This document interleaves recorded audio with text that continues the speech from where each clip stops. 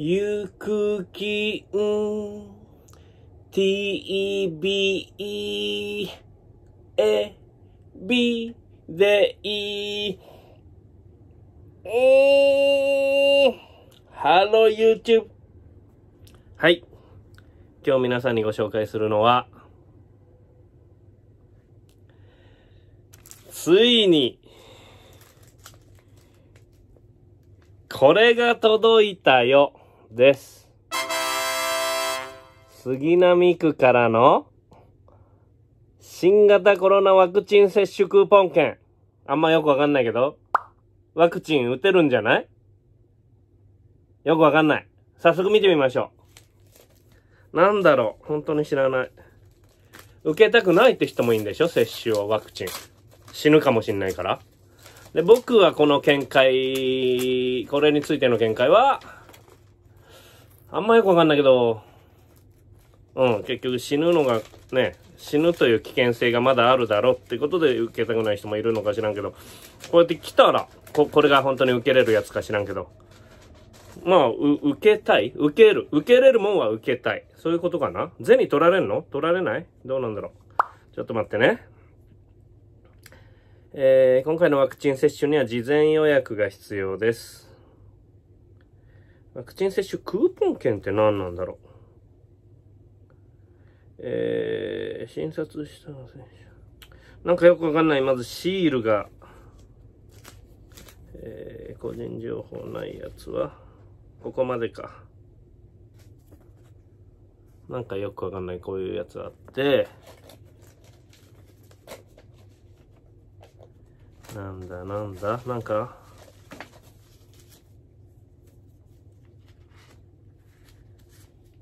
なんだ2個もあるぞ。同じ内容かな？予診票問診票みたいなやつ？2個ある。合ってんの ?2 回分ってこと？説明書あった。必ずお読みください。ファイザー社。あジョンソンジョンソンとかいろいろあるのかな？えー、12歳以上が対象で、今回接種するワクチンはファイザー社製のワクチン。評判悪いんだっけいいんだっけよくわかんない。よくわかんない、本当に私は。受け、受けれるもんなら受けるぐらい。筋肉内に接種2回。3週間の間隔で。えー、2回行くのめんどくせえけどな。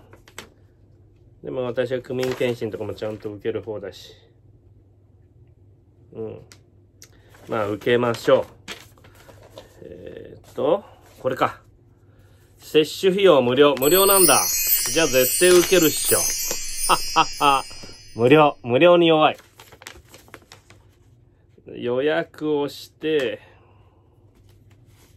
7月から予約受付開始。もうちょい寝かしていいのね。7月、えーあ、私の年齢すげえやと。7月27以降だ。覚えてられるかな？スケジュールに入れりゃいいか。今日が、627。1ヶ月後。忘れないようにしないとな。やるじゃないか2回分の予約。めんどくせえ。受けるけどね。本当にやっぱ芸人連中と同い年ぐらいのいろんな人と話すけど、やっぱみんな区民検診、健康診断行かないのめんどくせえんだって。バカだよね。まあまあ、考え方は自由だけど。わかるよ僕だって服装、しね、七めんどくせえけど。む、まあ、いつも言うけど、無料だし、なんかね、えー成人病とか早めに見つけてとか、重くなってから、しんどいしんどい、痛い痛いっていうのが嫌だから、ね、早めに受けるみたいなもんなのにさ、っていう話よ。集団接種会場？と、個別接種、どっちでもいいのかな？よくわかんないけど。高円寺北で受けたいな。北か南で。あっ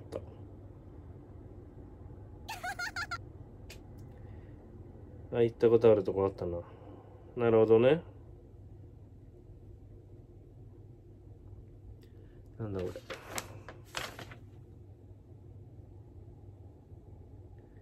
まあまあ。